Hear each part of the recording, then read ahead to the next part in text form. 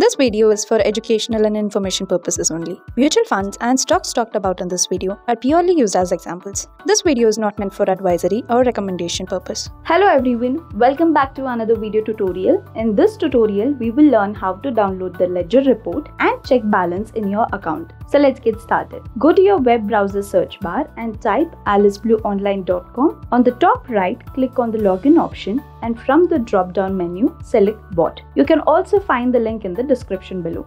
Once you have logged in, click on your profile and from the list, select back office and you will be redirected to the back office. Then click on the ledger option from the top menu to download the ledger report. Once the report is downloaded, you can view the available balance in your account. We hope you found this video tutorial helpful. Make sure to give it a like, share and subscribe to our channel.